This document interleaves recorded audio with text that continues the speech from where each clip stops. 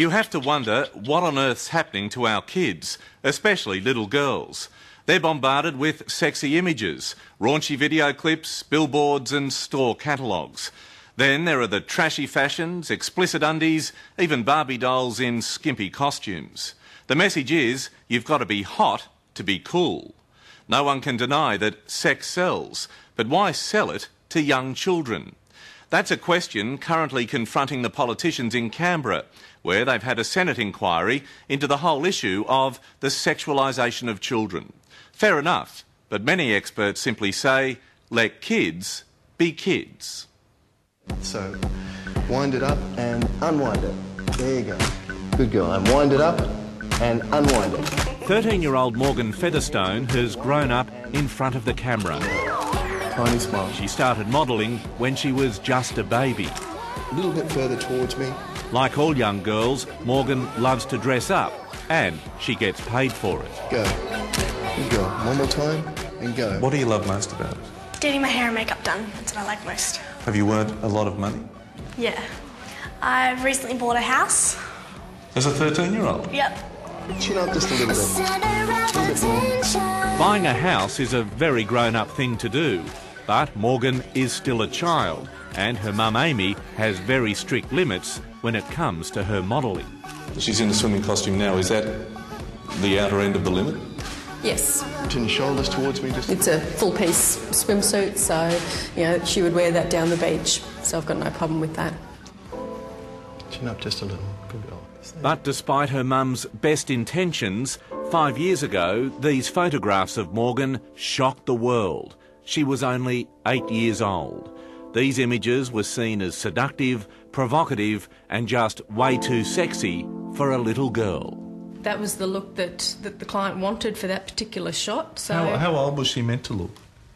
I'm not sure. Did you understand as an eight year old what was going on? Not really, no, because I just saw photographs and I just thought people were going way over the top. When I grow up, I wanna be famous, I wanna be a star, I wanna be in movies. When I grow up, I wanna see the world, drive nice cars, I wanna have groupies. But five years on, there's no denying that kids are being bombarded with sexual imagery everywhere they turn. Exploitation of children in the media and the marketplace has reached such a level there are fears kids are growing up too fast. Their childhood being eroded by the constant sexual messages that dominate their world. Images that are all about selling. Let's be let's be real here. I mean, one little doll is not going to rattle a little girl's cage. But when she's got that doll and she's got that billboard and she's got that song and she's got the fashion and she's got the magazine, you know, this is just relentless and it's too much.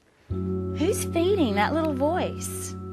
That's telling us that we're not good enough because we are. Danielle Miller sees firsthand how this sexual barrage affects young girls. A former teacher, she now runs a program to make schoolgirls more media savvy. So when we see ads like this, what parts of the girl's body is given all the attention? Her legs, Her legs, right? Big focus, yes, Angel? her breasts. Right, her breasts. It's just boobs and bums and legs. She's teaching them to be critical of the sexualised images of women they're exposed to every day. She hasn't got a top on at all, not even. This is girl disease. When I work with little girls, I guess I feel a little bit like, um, that's a vaccination program, you know? They're not unwell yet. But what we're trying to do is give them some strategies they can fall back on so that they don't end up doubting themselves, doubting their bodies, engaging in dangerous behaviour. These girls are known as tweens, aged 7 to 12, and they represent a $10 billion market. This generation is under pressure not just to be thin and pretty, but to be hot. Even their dolls are sexy. This is my bling bling Barbie. Does she look comfy? No. That top doesn't even fit her. Well, it doesn't cover much. It just covers. It just covers a breast. If it was any shorter, you'd be able to see a breast. You would, wouldn't you? It's like, um, oh, have a look at my stomach. Wait, I don't have one.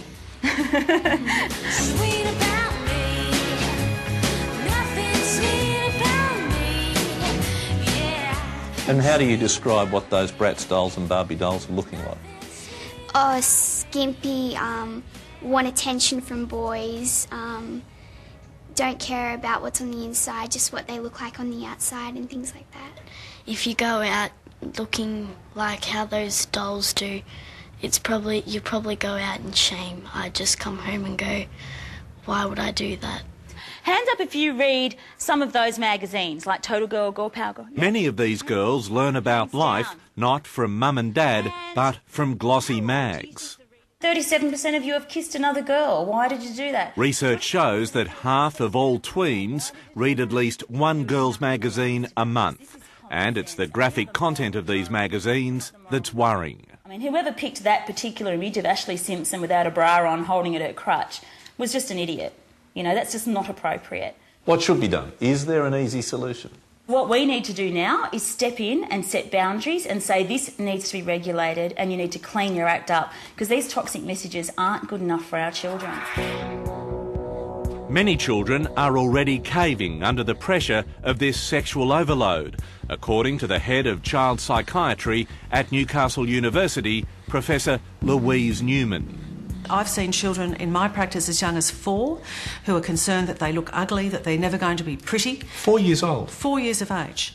Uh, worried that they're not going to be popular, that they're going to be too fat, uh, ugly, not be able to wear the clothes that are being marketed um, uh, at them, and very distressed. So, this sexualisation of children in the media is actually taking childhood away from our children. Being a princess is all about having fun. So we're going to It starts very young and in very subtle ways. This is called a Miss Princess party, and to these kids, it's innocent fun. make sure you keep your toes still after you've had them painted, otherwise it'll smudge. Pedicures, manicures, Look at that. It looks and like chocolate facials, good enough to eat. But even this has been criticised for encouraging kids to grow up too soon. Just remember, girls, you've got to make sure that you take the nail polish off before you go to school. Their creator, Troy Thompson, is shocked that something he says is so innocent can be seen as somehow inappropriate. Look at that.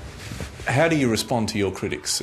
You have gone too far. Um, I, I, I stand behind what I do because this is not overexposing children to adult forms of behaviour. Three! And the minute they come in and see what we actually do, then they realise that it's complete opposite. And it really is just child fun. Let Princess Antoinette pass it around for you. Yeah, we're allowed to have one.